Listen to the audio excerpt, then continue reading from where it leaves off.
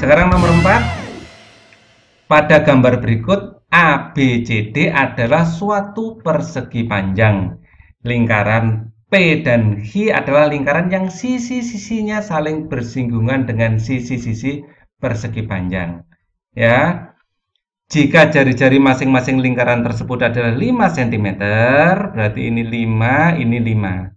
Ya. Jarak dari sini ini sama dengan diameter, berarti ini adalah 10 dan ini dua kali diameter. Ya, berarti ini 20. Ya.